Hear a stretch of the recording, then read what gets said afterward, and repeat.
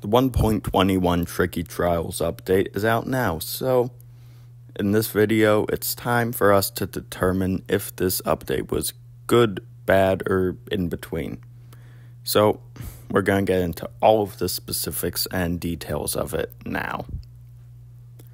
So, this update was initially, when revealed at Minecraft Live, exciting. We didn't see much of it at that time, but the prospect of seeing a combat update, a combat adventure update, new dungeons, new hostile mobs that you're actually meant to fight finally was exciting for a lot of players, myself included. And so, as the update progressed through sh- snapshot season, and we saw new things like the vault for multiplayer, then the ominous trials, the mace. It made the update a lot better from what we saw, but it did still remain as just the trial chambers in the crafter. But the trial chambers got enhanced a lot as one experience there was so much content compacted into just that one feature and structure, which was very different from what Mojang's been doing in the past. They usually have multiple experiences per update that kind of come together to create this one larger overhaul experience. Like with the Nether update, the big overhaul of the Nether, and you had multiple experiences within that, like discovering each new biome, finding a bastion and looting it, bartering with piglins for the first time. You had all of these things, and the same goes for Update Aquatic, uh, Village and Pillage, and if you count all of the parts of Caves and Cliffs. And they tried to do that with Trails and Tales, but it did end up feeling a bit disjointed in the end. So Seemingly, what Mojang just did here was give up on that idea altogether of those multiple experiences tying together and instead decide to kind of put all their eggs in one basket and put everything, go all in on the trial chambers, just that one feature. And so the result was a very complex and intriguing structure with a lot of very cool new mechanics to it. So, the trial chambers themselves are really good. I love the focus on finally the combat and fantasy side of the game. Again, after all of these years, it has felt so neglected, as I've talked about in some past videos.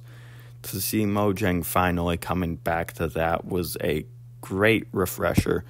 And having these new things for dungeons, this new giant dungeon with all of these complex parts, is really cool. Having the trial spawner to make it scale to players and the vaults for each player.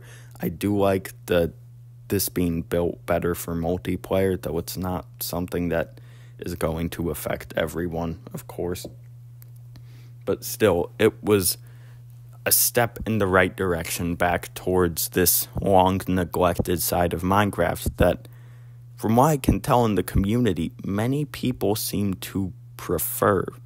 Right? People like this kind of fantasy side of Minecraft, and it's something that Mojang has kind of been heavily neglecting in a lot of the recent years. But to see them getting back into that now is definitely a great thing. That being said, while the trial chambers are all about, you know, fun combat experiences, with this being a combat adventure update, there was one fatal flaw that kind of held this update back from being absolutely incredible.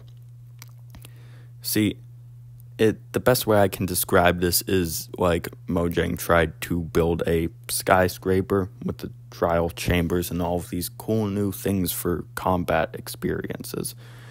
But the foundations that they were building upon were so weak that it greatly damaged the experience in the end. Those foundations that I'm referring to here are, of course, the combat system itself, if you could even call it a system at all. See, upon the initial reveal of this update back at Minecraft Live 2023, the probably most heavily requested thing to be added in this update was an update to the combat itself. That and the copper golem, of course, that didn't happen either. But this was so heavily requested by the community. It seemed basically everyone wanted it. I out of the thousands of opinions that I saw voiced over these months, I did not see one, not one person against a combat update. So why didn't Mojang decide to focus more of their time on that? And that's a very good question that I honestly can't tell you the answer to. That likely they were just afraid of community backlash, which is kind of fair that that there are people in the Minecraft community who get upset over very small changes. I could understand why they'd be worried about backlash from a whole combat overhaul. But still, if it was a good overhaul and in the end was better for the game, that's what they should have done. See, the current combat in Minecraft is just it's stale and kind of unengaging and it just looks bad too, kind of boring, almost too basic. Not combat systems don't need to be complex. Neither do they really need to be flashy. But in the case of Minecraft's combat, it would benefit greatly from maybe a bit more realism with the whole attacks and everything and a bit having it look a bit better just in general having it be a bit more flashy so to speak. Because right now of course it's just tap on your enemy and then your sword does a little fling animation towards them and that that's it, it right? It's not entertaining and that's supposed to be the whole purpose of the game at, at the end of the day really and then that's not even getting into bedrock combat. Oh, I'm not gonna even talk about that, but the mace did increase the need for parity between Java and Bedrock because it's like a headline feature of this update, with it being the big reward from the trial chambers. The update would have benefited greatly from obviously a combat update making it look, you know, a bit more realistic. And make, I want to say, you know, in the trailer, how they portrayed the combat as basically realistic. They made it look exciting and with movement and everything, right? Invigorating. That's what the combat in games should be. That's what it should feel like make things fresh, to make the player feel alive. But it just doesn't have any of that, which again could have been fixed in this update. If not in this update, I don't know when they will. Right? Because this was a combat adventure update and you can't really have good combat adventures if you don't have good combat in the first place. Anyway, with the mace being so slow hitting on Java, that made it basically a completely different weapon play style on Bedrock than it is on Java. So it was just a, another kind of tricky thing. So the lack of that combat update did drag 1.21 a bit heavily down. That and also the trial chambers being the basically only focus of this update could have used some more unique loot to them aside from like the mace and the wind charge. I don't mean decorative stuff, I mean functional stuff, right? In a dungeon update, you would expect to see all kinds of unique loot. Obviously, you know, there's only so much Mojang can do with the whole one year update schedule thing. And still, though, having only really two functional things to motivate you to go to the trial chambers because the entire update is basically the trial chambers. It would have been nice to give a bit more motivation for the players to go to the trial chambers in the first place, more than just the wind charge and the mace. That being said, those two items are great. They're unique, so I'm glad to have them in the first place, at least. And then the third sort of flaw here was just a side thing. It didn't really detract from the update in the end, but more of a broken sort of promise. At the reveal of this update, it was promoted as, or promised to be a combat adventure and tinkering update. And we just didn't see the tinkering side leaned in on at all by Mojang. They neglected it completely, basically.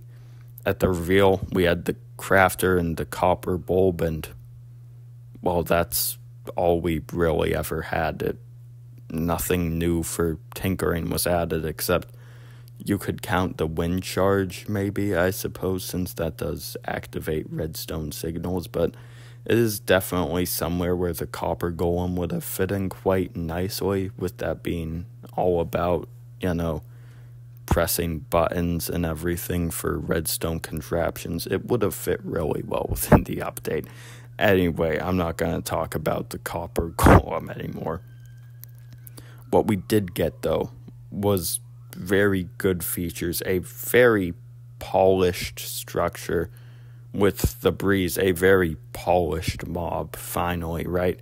Having a unique mob drop after all this time was so nice. We have not had like unique mob drops in so long, so I was really glad to see that and have that mob drop be actually useful and be used for actually cool functional items, right? That's the kind of stuff I've been wanting to see. And that is what people seem to be happy with. So I don't know why Mojang had kind of been neglecting that with past updates, but to see them get back into that is definitely a good sign, especially going forward for what we hope is an end update, right? Hopefully. Anyway, in the end, 1.21 is a good update, held back from being incredible by just really that one fatal flaw and then the two smaller ones. Still, even without the getting the actual combat update, it was relatively impressive. I the trial chambers are definitely unlike anything we've seen before in Minecraft, really. And to have them lined up to the old dungeon is just insane to show how far the game has truly come. So, good update. I, I obviously not as good as like the Nether update or whatever because this update wasn't necessary like that was right? Like the Nether update, we really needed that to overhaul an existing part of the game. This just introduced something entirely new out of the random, basically, but still, nonetheless, something very cool, and I'm glad we got. So, good update. I'd say better than the wild update and Trails and Tales, at least. And in the end, I'm pretty happy with it. If there was two things I could change, one, Copper Golem, two, add a combat update. But aside from that, good update. I, I don't know, 8 out of 10.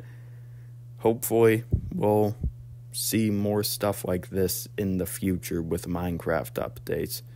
That is what I'm hoping for here. Now, goodbye. I hope to see you in the next one.